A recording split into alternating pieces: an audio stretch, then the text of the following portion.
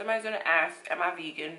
You know how you make something and it comes out exactly how you want it to come out?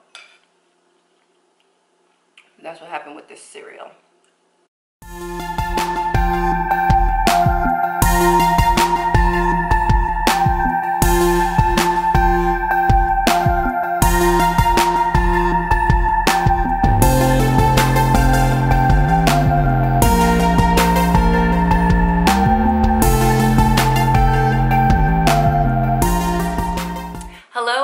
Welcome back to my channel. My name is Stacey Flowers and I'm a student of Dave Ramsey's Financial Peace University and on a journey to become 100% debt free.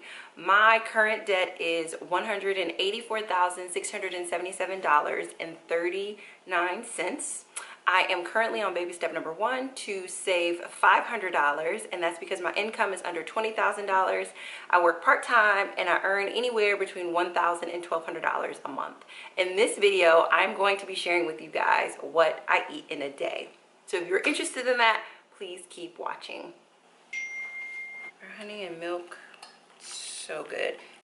So for breakfast, we are going to have the golden milk. We're also gonna have a little sweet potato toast and I'm going to make a big batch of granola, put part of it just away for snacking and then I'm gonna have me a bowl of like granola cereal with almond milk. Then I'm gonna have me a little spinach dressed with like sea salt and pepper and I'm eating a little bit heartier this morning because I know today that I have therapy and anytime I have therapy I get very emotional and I have learned that I emotionally eat and what I found is that the heartier um, and the more leafy green my meals are, the less likely I am to crave junk food. So that's why I'm just adding a random bunch of spinach that's just lightly dressed to my morning so I can begin to start taking in those greens. Mm.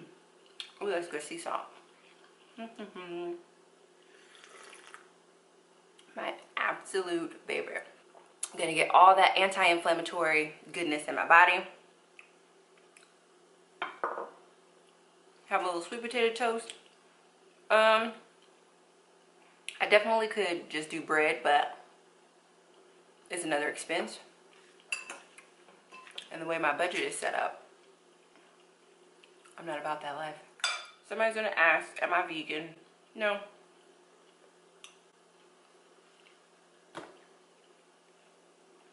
That is so good. It tastes exactly how I wanted it to taste. Exactly. Ugh. I'm so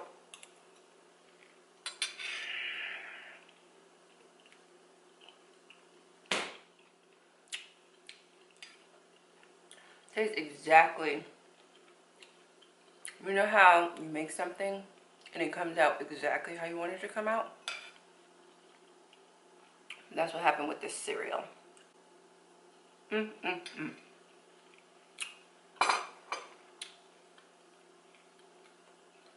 so i'll see you guys at lunch. I just wanted to pause for a moment and acknowledge that I ate all my breakfast. I still have a little bit of this to drink, but it was so good. I'm so full.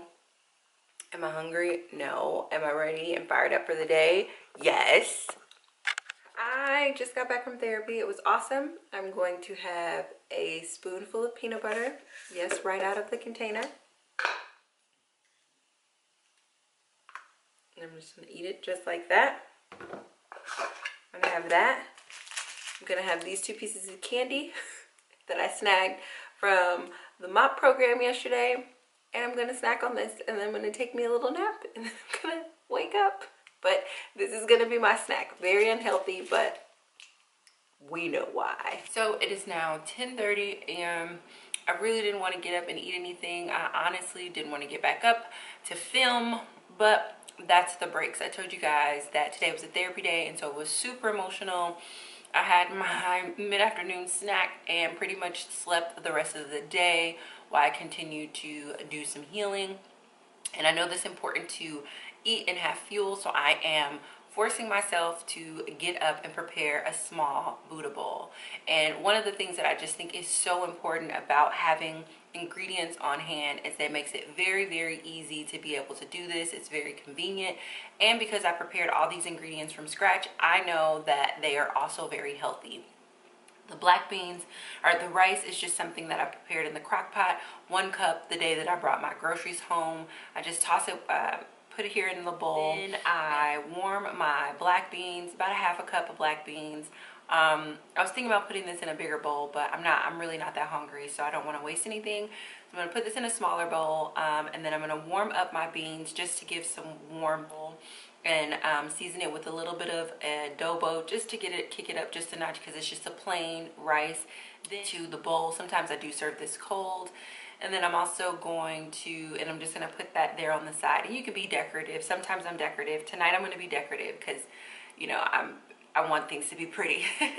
and then I just put those in there and then I add my um, sweet potatoes to the microwave just to warm those up. And remember, I cooked these, I chopped these up and prepared these the day that I bought my groceries home. So they're very nice to toss on top.